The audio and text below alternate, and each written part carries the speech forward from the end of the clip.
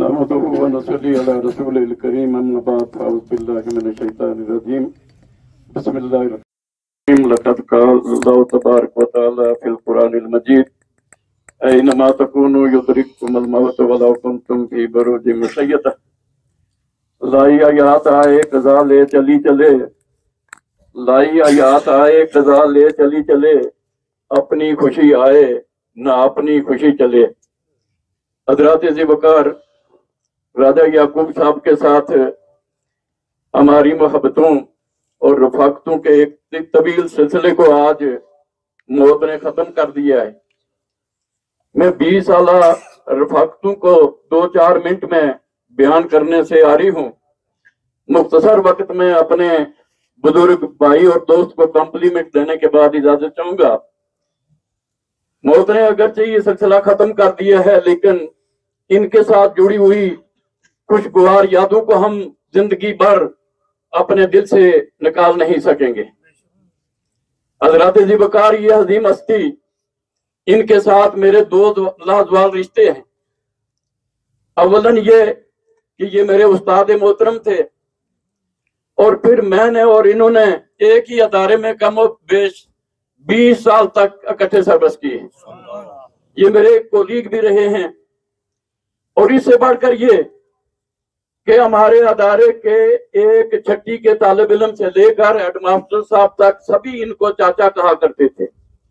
اور انہوں نے واقعی چاچے کی شفقتیں تقسیم کی ہیں ہمیں میں انہیں خراج تحسین پیش کرتا ہوں۔ اللہ پاک ان کی آنے والی منزلوں کو آسان فرمائے۔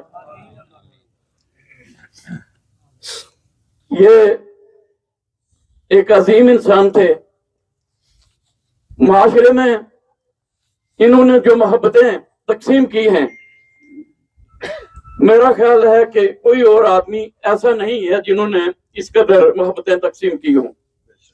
نبی پاک صلی اللہ علیہ وآلہ وسلم کی ایک حدیث ہے کہ المسلم من سلم المسلمون من لسانہی و یعنی مسلمان وہ ہے جس کے ہاتھ اور زبان سے دوسرے مسلمان محفوظ رہیں۔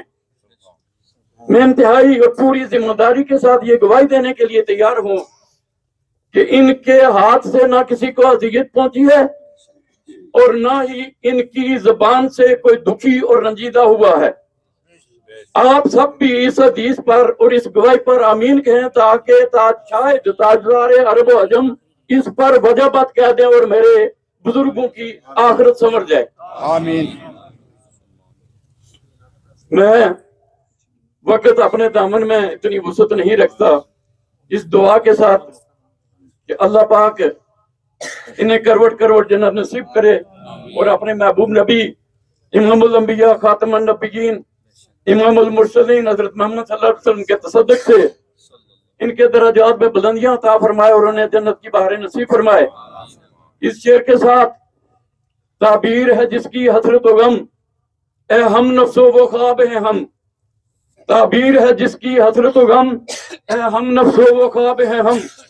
ڈھونڈو گے ہمیں ملکوں ملکوں، ملنے کے نہیں نایاب ہیں ہم۔